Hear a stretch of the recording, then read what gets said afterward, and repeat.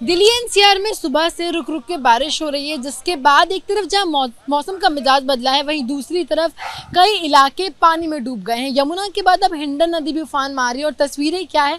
ज़रा वो देखिए। ये तस्वीरें हैं एक राहत शिविर केंद्र की जो गाजियाबाद के सरकारी स्कूल में बनाई गई है, लेकिन अब राहत शिविर केंद्र भी लगभग लगभग जलमग्न हो चुका है। देखिए तो आपको हर तरफ़ पानी नज़र आएगा। हालाँकि ये मैदान है जहाँ पर बच्चों के खेलने, पढ़ने की जगह थी, लेकिन अब वो भी पानी में डूब चुका है और ये राहत शिविर केंद्र में आसपास के गाँव के कई लोगों को, कई इलाके से लोगों को यहाँ पर ला करके शिफ्ट किया गया है। उनको बेसिक ज़रूरत की जो चीज़ें हैं, वो यहाँ पर मुहैया कराई जा रही है।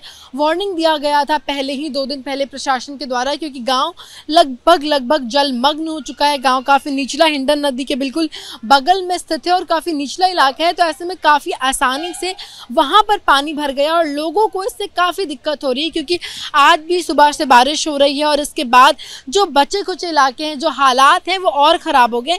कुछ महिलाएँ हम उनसे बातचीत करते हैं कि वो कहाँ से हैं। क्या नाम है मैम आपका? वंदना शर्मा। कहाँ से हैं आप? Karera city forest. करेरा जो बगल में गाँव है वहीं से ना? जी उससे आगे सिटी फॉरेस्ट है गाँव से हाँ। की ही ज़मीन है वो सिटी फॉरेस्ट है। तो कितने दिनों से आप लोग यहाँ पर हैं? सैटरडे इवनिंग तकरीबन चार दिन हो गए तो यहाँ पर बेसिक जो ज़रूरत के सामान है खाना पानी दवाइयाँ ये सब आप लोग को उपलब्ध सब चीज़ मिल रही है। सब चीज़ बहुत अच्छे से मिल रही है लेकिन घर जाने की जल्दी है। मैम ये बताइए कि आज सुबह से बारिश हो रही है और आने वाले दो तीन दिन और बारिश का अलर्ट है कि बारिश होगी। तो ऐसे में आज की बारिश के बाद भी हाल ये है कि यहाँ के बहुत एरिया पानी में डूब गए। तो ऐसे में अगर यहाँ पानी आता है तो आप लोगों को कहीं और शिफ्ट करने की बात ये अभी नहीं बताई है। ये अभी कुछ नहीं बताया है। वैसे हाँ, सुबह लगा हुआ है पानी का निकालने के लिए भी और फिर कमरों में भी सफ़ाई की गई है। ब्लैक हिट भी डाला गया है। आगे देखिए क्या होता है। तो ये बताइए कि आप लोगों को जब निकाला जा रहा था वैसे कितने दिनों पहले वार्निंग दी थी कि आप लोग चले जाइए छोड़ दीजिए इलाका? दो दिन पहले। दो दिन पहले बताया गया था कि ज़रूरी सामान लेकर यहाँ से निकल जाए। तो वहाँ पर किसी को कोई नुकसान फिर नहीं होगा सब वक्त रहते निकल गए थे? नहीं अभी हमारी गली में भी दो जने दो फैमिली है। वो नहीं आ रही है। क्यों नहीं आ रही है पता नहीं। लेकिन दो फैमिली है वो नहीं आ रही है। प्रशासन उनको कोई चेतावनी? चेतावनी दे रहा है। लेकिन अब अपनी खुद की भी पर्सनल वो होती है आ रहा है कोई नहीं आ रहा है। ठीक है और भी कुछ लोग हैं? सर कहाँ से हैं? क्या नाम है आपका? अच्छा ओके। क्या नाम है मैम आपका? बबीता। आप कहाँ से हैं? मधुबन कॉलोनी से फॉरेस्ट अच्छा यही पीछे से जी। आप ये बताइए कि आप लोगों को कितने दिन पहले वहाँ से निकालने के लिए प्रशासन के द्वारा चेतावनी दी गई थी? हाँ संडे को थी शायद है ना? सैटरडे में तो हम हम ही आए हैं। सैटरडे से पहले दो दिन अच्छा मैम ये बताइए कि क्या जो क्या जो ज़रूरी सामान है आप लोगों को वो सब उपलब्ध कराया जा रहा है? यहाँ पे हाँ यहाँ पे तो खाने पीने का किया जा रहा है लेकिन हमारे घरों में तो सब सामान डूबा पड़ा है। डूबा पड़ा है। तो क्या अभी वहाँ जाने का रास्ता अभी आप लोग जा पा रही हैं वहाँ पर? नहीं उस दिन से नहीं जाने दे रहा कोई भी वहाँ पे। सब पता नहीं क्या है घर में क्या नहीं सब डूबा पड़ा है। कुछ कोई यहाँ पर बता रहा है प्रशासन से कोई बातचीत की कब लौट पाएँगी आप लोग? कोई कुछ नहीं बता रहा है अभी यहाँ तो। पर नहीं बता रहे मतलब जब तक पानी कम नहीं होता तब तक आप लोग यहाँ पर रहेंगी। बाकी यहाँ आप लोगों को सारी ज़रूरत का सामान मिल रहा है दवाइयाँ? खाने पीने का तो मिल रहा है। दवाइयाँ भी आँखों जैसे बच्चों को सबके आँखें आ गई हैं तो वो हो रहा है।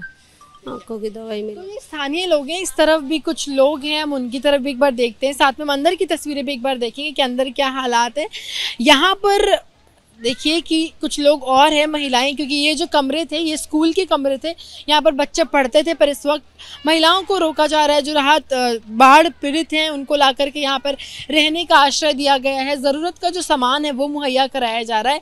साथ में कीटनाशक और जो ज़रूरत की चीज़ें हैं, वो वो भी वो भी मुहैया कराई जा रही ताकि लोगों को दिक्कत ना हो। देखिए, इस तरीके से ब्लैंकेट वगैरह उपलब्ध कराया जा रहा है। कुछ महिलाएँ हम उनसे बातचीत करते हैं कि कहाँ से हैं क्या नाम है मैम आपका? मेरा नाम आरती देवी है। कहाँ से हैं आप? आए हैं यहाँ से कढ़ेरा न्यू कढ़ेरा से। करेड़ा गाँव से ही हैं। कब आप लोग यहाँ पर कब से हैं? हम लोग तो यहाँ आज आज एक पाँच छः पाँच दिन हो गया। अच्छा पाँच छः दिन हो गया। हम लोग यहाँ पे हैं। तो पाँच छः दिन में हर ज़रूरत का सामान आप लोगों को खाना पीना और दवाइयाँ उपलब्ध कराई जा रही है? हाँ ये तो तक कराई जा रही है टाइम से मिल रहा है सब। और प्रशासन कुछ बता रहे हैं कि कब लौटेंगे आप लोग अपने घर पे? अभी तो पानी इसके बारे में तो कोई पता नहीं चल रहा। नहीं। आप भी कहाँ से हैं सर आप? मैं सिटी पर रहता हूँ। अच्छा वहीं से सारे आदमी का घर डूब गया तो क्या आप लोग अपना सामान कब कितने दिनों पहले प्रशासन ने चेतावनी दी कि आप घर छोड़ दीजिए आप निकल जाइए पानी आ सकता और शाम को पानी आ गया क्या कर सकते हैं उसमें? सामान घर में बहुत सारा नहीं आ पाया सामान।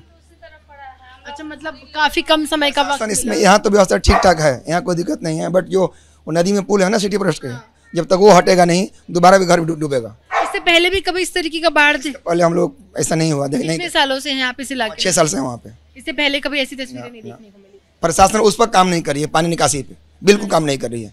जितने नेता लोग आते हैं आते हैं फ़ोटो खिंचवा चले जाते हैं उस पर कोई काम ही नहीं कर रहा है कि पानी निकाला जाए। यहाँ तो मिल रहा है खाने पीने इसमें कोई दिक्कत नहीं यहाँ मिल रहा है यहाँ कोई दिक्कत नहीं है। पर उस पर कोई काम नहीं कर रहा आदमी कि ये समस्या का हल दोबारा ऐसा ना हो उस पर कोई काम नहीं हो रही है। एक बात और बताइए सर क्योंकि ये इलाका ऐसा खुला इलाका है यहाँ पे मवेशी भी बंधे हुए तो मक्खी वगैरह बहुत टूट रही है छोटे बच्चे हैं उसके लिए कोई सोल्यूशन क्या खूब समझ रहे हैं पढ़े लिखे लोग हैं। अब घर तो है नहीं। ठीक है इसके लिए क्या कीटनाशक वगैरह इसका छिड़काव क्या? छिड़काव हो रही है। छिड़काव हो रहा है ना काम हो रही है। तो ये स्थानीय लोग हैं अब स्थानीय लोग हैं देखिए ये स्कूल को पूरा राहत शिविर केंद्र में तब्दील किया गया है और यहाँ पर लाकर सबको कमरे दिए गए हैं सबको अपनी जगह दी गई है जहाँ पर लोग लाकर रह रहे हैं। यहाँ पर खुला इलाका है यहाँ पर मवेशी भी बांधे गए हैं जो लोग अपने मवेशियों को लेकर यहाँ पर आ पाए उन्होंने अपने मवेशियों को भी यहाँ पर आसपास में बाँध दिया है। ऐसे में बहुत ज़्यादा इन्फेक्शन का डर बना हुआ है, क्योंकि मवेशी और इंसान बिल्कुल आसपास काफ़ी करीब में रह रहे हैं। हालाँकि कीटनाशक का छिड़काव जो स्थानीय लोग जो यहाँ पर रह रहे बता रहे हो रहे उसके बावजूद फ्लू का खतरा बहुत ज़्यादा इन्फेक्शन का खतरा बहुत ज़्यादा है, और कब तक उनको यहाँ पर रहना पड़े ये बड़ा सवाल है, क्योंकि लगातार जो नदी है, वो फान मार रही है, और आने वाले कुछ दिनों में और बाढ़ और बारिश की संभावना तो अगर बारिश इसी तरीके से होती रही तो उम्मीद है कि जलस्तर और बढ़ेगा, और मुसीबतें स्थानीय लोगों के लिए और बढ़ सकती है। कैमरा पर्सन मोहित यासले के साथ मेघा उपाध्याय न्यूज़ गाजियाबाद।